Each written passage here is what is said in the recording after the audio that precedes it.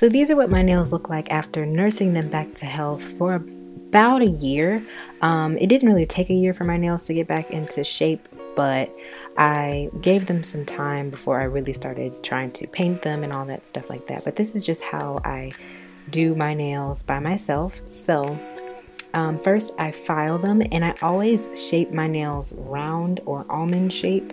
Um, not necessarily stiletto shape, but just have like a nice rounded tip because I do not like for my nails to be square. And that's because when my nails are square, the corners catch on to like my clothes and different things. Like I just, they break really easy when they're square. So I like to round them off so that it's easier for my nails to grow. Um, that way they're not being snagged or chipped on the edges or anything like that. So I'm just filing my nails into a round shape. Now when you're growing your nails out from having acrylics or um, any type of adhesive or anything on your nails for a long period of time, your nails are going to be very, very brittle.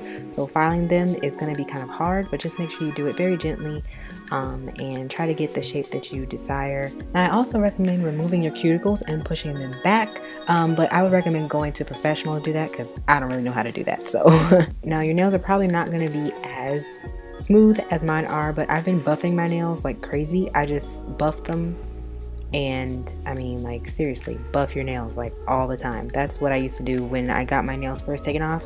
I just kept making sure that that rigid part of my nail where the glue had been was smoothed out as much as possible. And it was so bad at first that I couldn't really wear nail polish. So all I would do after buffing my nails and filing them into the shape that I wanted to have them in, I would just put a coat of my Sally Hansen nail hardener. And this is the Hard as Nails nail hardener. And it's just a top coat that you can use. It's like a light pink color. It's not really it doesn't really have a color to it. It just makes your nails look shiny, but it keeps them from being uh, so brittle so that they don't break and it helps them to grow out.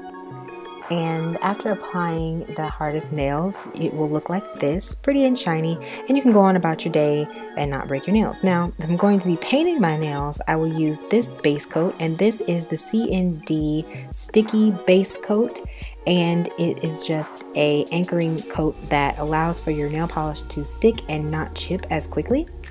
And then after that, I apply two coats of my favorite nail polish. This is Madam Glam. I love this color. It is the color Amor Azul. And then after that, I apply this top coat. And this is Fresh Paint top coat, and it is just called Finished. You can get it from pretty much anywhere I think I've seen it at five below but um, yeah it's just the top coat and I just apply one coat of that to the top of the nail polish and that's pretty much it. So if you guys have any questions please let me know and I will try to answer them to the best of my ability. And I will talk to you guys in my next video. Bye